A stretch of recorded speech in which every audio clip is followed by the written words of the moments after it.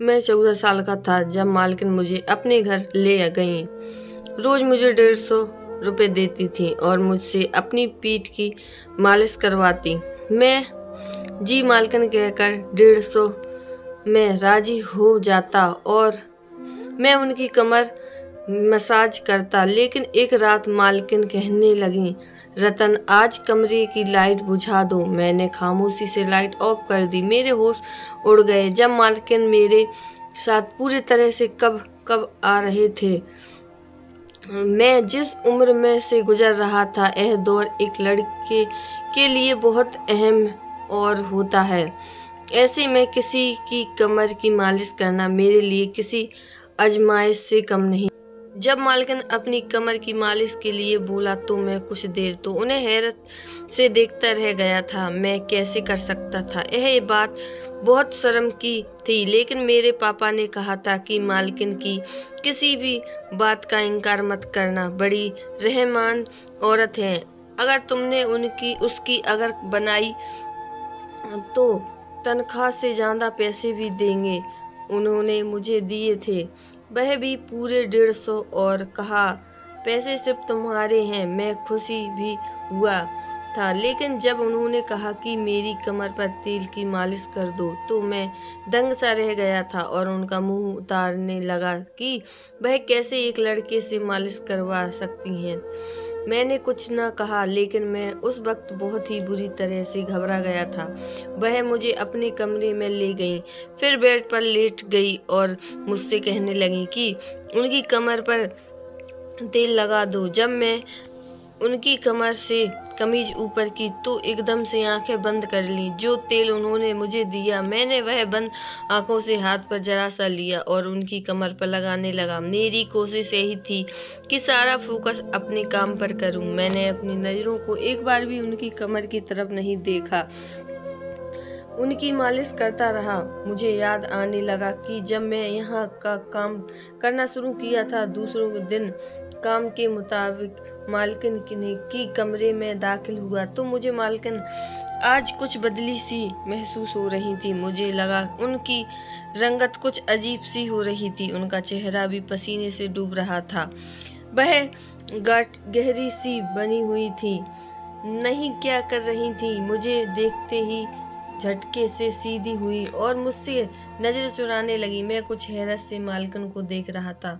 मैंने कहा, मालकिन, क्या आप ठीक है? आप घबराई हुई क्यों हैं? मेरे लहजे में, खुद में मालकिन के दिल से इज़्ज़त करता था। वह मुझे उनकी गहरी फ़िक्र थी, क्योंकि मालकिन ही नहीं, बल्कि मेरे लिए बहुत अच्छी औरत थी, कम उम्र से ही उन्होंने मुझे सहारा दिया था और मेरी डूब ज़िंदगी खुशहाल में बदल दी। मालकिन का अहम किरदार था। मुझे परवाह नहीं थी बदले में उन्होंने मुझसे चाहे जैसा भी काम लिया था, मगर उनकी दिए पैसे से मेरी ज़िंदगी बदल गई थी। मेरे घर के हालात बहुत बदल गए थे। मेरे सवाल पर मालकिन ने नहीं, मैं सिर हिलाते हुए मुझे तसल्ली दी कि वह बिल्कुल ठीक थी, मगर उनकी अल्फाज मालकिन के चेहरे पर साफ़ ज़ाहिर हो रही थी।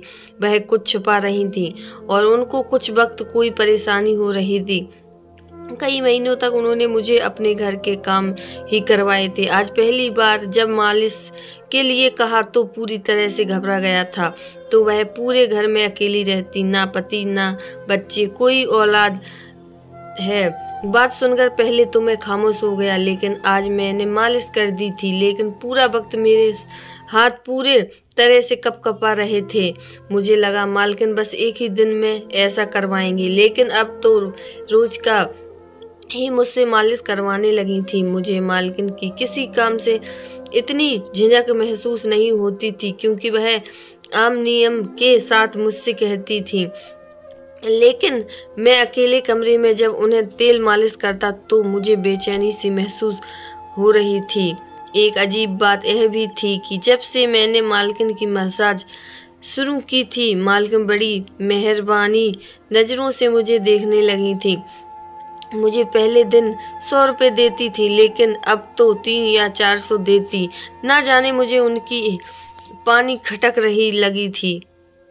आज भी मैं रोज़ाना की तरह मालकिन की मालिश करने के लिए उनके तेल की शीशी उठाई। मैं खुद चौदह साल की उम्र से मालकिन की कमर की मसाज कर रहा था।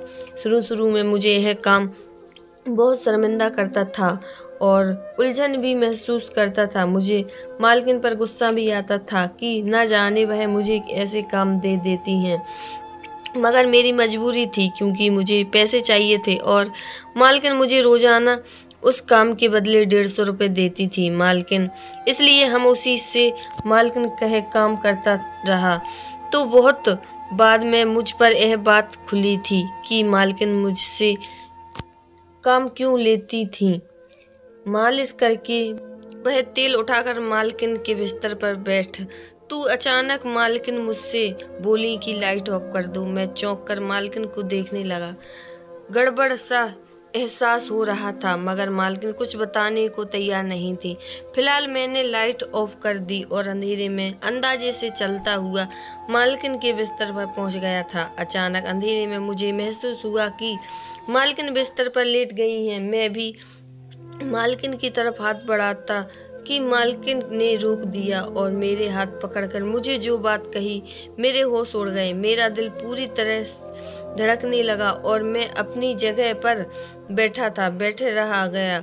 मेरे लिए मा, मालिश करना मुश्किल हो रहा था। ना मालकिन की बात सुनकर अंदर तक हिल गया था। मैं पंजाब के गाँव में रहता था। मेरा घर बहुत ही गरीब था और मैं चौदह साल का था इसलिए मेरे लिए काम ढूंढना या कमाना मुश्किल था। मैं हसरत से अपने माँ बाप को मुश्किल सी ज़िंदगी देख रहा था। बड़े बहुत गरीब के शिकार थे और मैं उनकी मदद नहीं कर पा रहा था। मेरा बस नहीं चल रहा था कि मैं किसी की, उन्हें आगे दुनिया की हर चीज़ों का सुख दे दूँ। मैं कामयाब इंसान बनकर अपने माँ बाप की मदद करना चाहता था और उन्हें अच्छी ज़िंदगी देना चाहता था। इसलिए पढ़ाई करना मेरा ख्वाब था, क्योंकि मैं जानता था कि मैं पढ़ाई हासिल करके कामयाब हो सकता हूँ।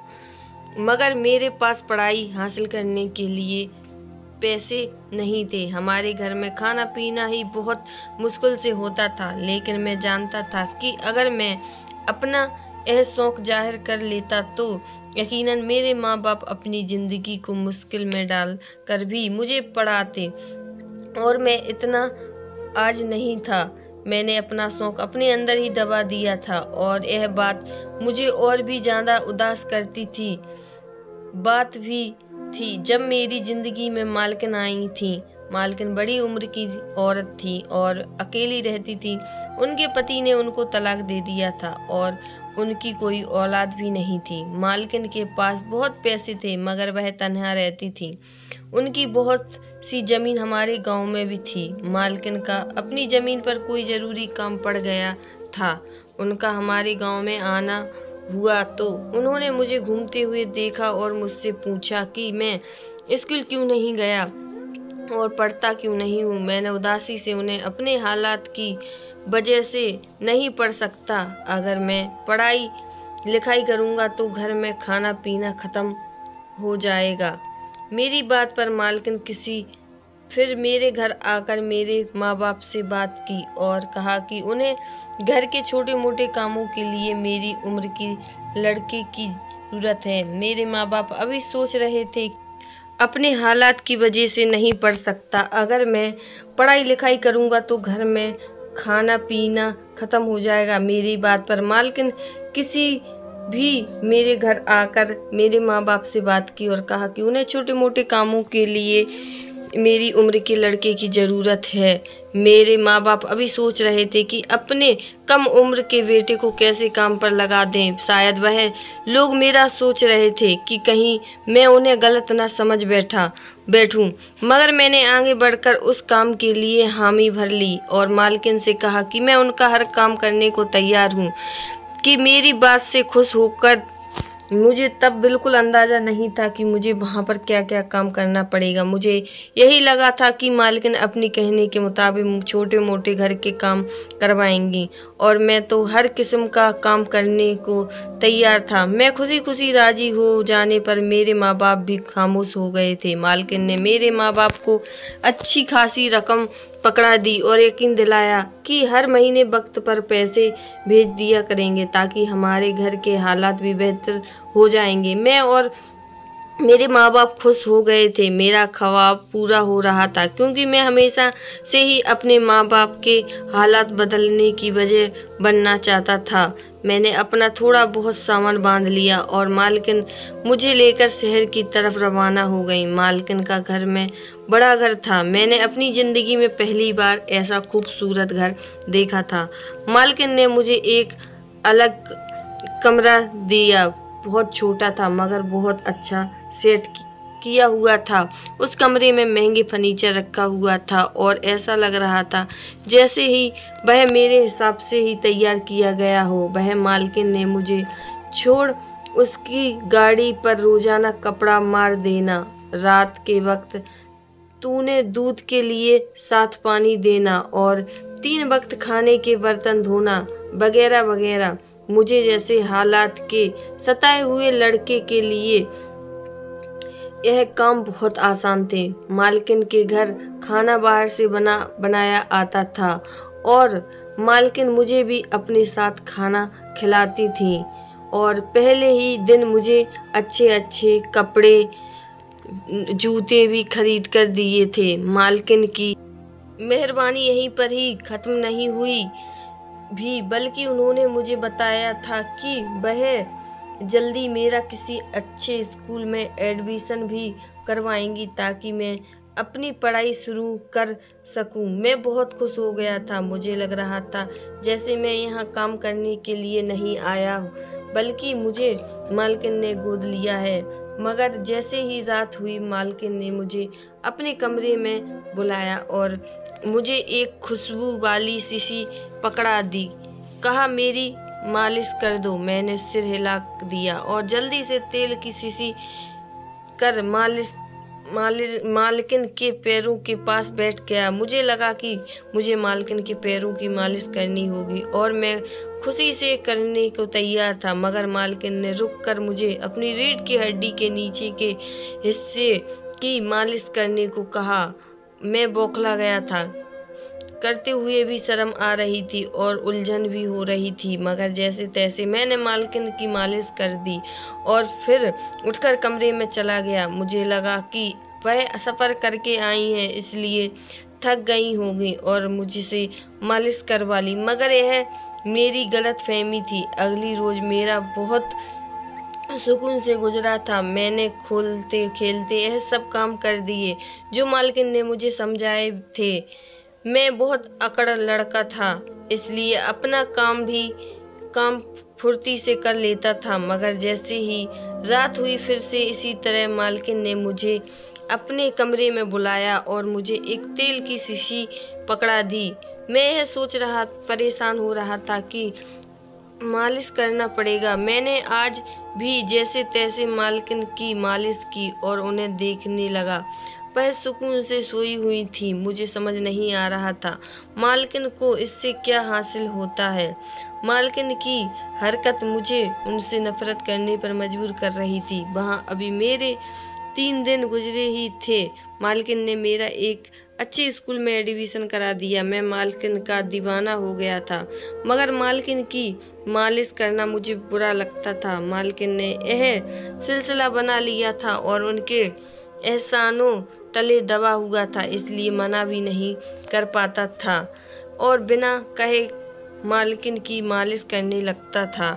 मालकिन ने शायद महसूस कर लिया था कि मैं उनकी मालिश मुँह बनाकर करता हूँ।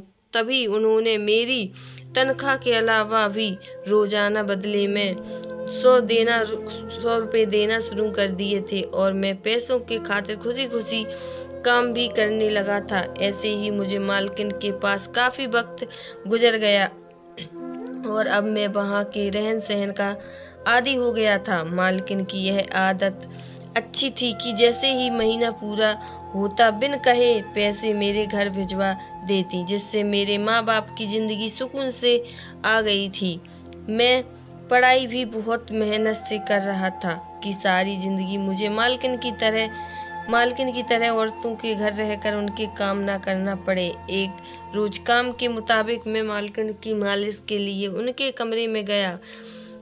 तभी फिर बोली कि मैं जानती हूँ, तुम्हें मेरा एक काम करना बहुत बुरा लगता है, मगर मैं मजबूर हूँ। इसलिए तुम्हारी मुँह बनाने के बावजूद भी तुमसे यह काम करवाती हूँ, मालकिन बोलती है।